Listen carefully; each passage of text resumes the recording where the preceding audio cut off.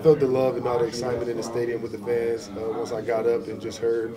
Uh, it might have been the loudest it was the whole uh, the whole day. So it was pretty cool uh, that everybody's there to support it. It's kind of fun getting hit. Uh, it's not really. I don't feel nervous getting hit and running routes or anything. It's just more when uh, when it's like people just flying around causing piles and kind of in the trenches. You know, I kind of feel more cautious. But other than that, that's the only kind of uh, thing that I felt the whole time.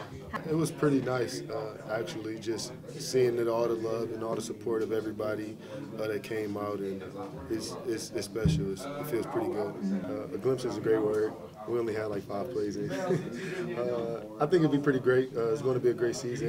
We had a lot of great people come into Autzen this season, so I think it'd be great seeing that it's only spring, we only have so much in, so we only ran so many plays. So uh, it was just getting out there and just having fun. Really, the, spring game is a lot for the fans, and just to have fun and be able to get out uh, and get, like you said, a glimpse of what's this season. But we have a lot of talent at skills position.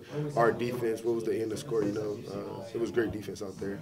Probably one of the low scoring spring games. So uh, it was just great seeing everybody compete. Uh, I think we'll play out pretty good. I've been I've been kind of getting reps with uh, him and Dakota. So whoever Coach Yost and Coach Humphries decide to go with, uh, I think they'll be able to have great chemistry with the team because every, every skill position is getting reps in with each quarterback. So uh, so whoever they make the starting quarterback will be able to just hit the ground running. Just help me uh, just knowing people's pulling for me and having that support. Everybody needs support to get through tough situations, and you have your support cast uh, luckily uh, I've had the support of a lot of people around the nation, so it just makes it that more special.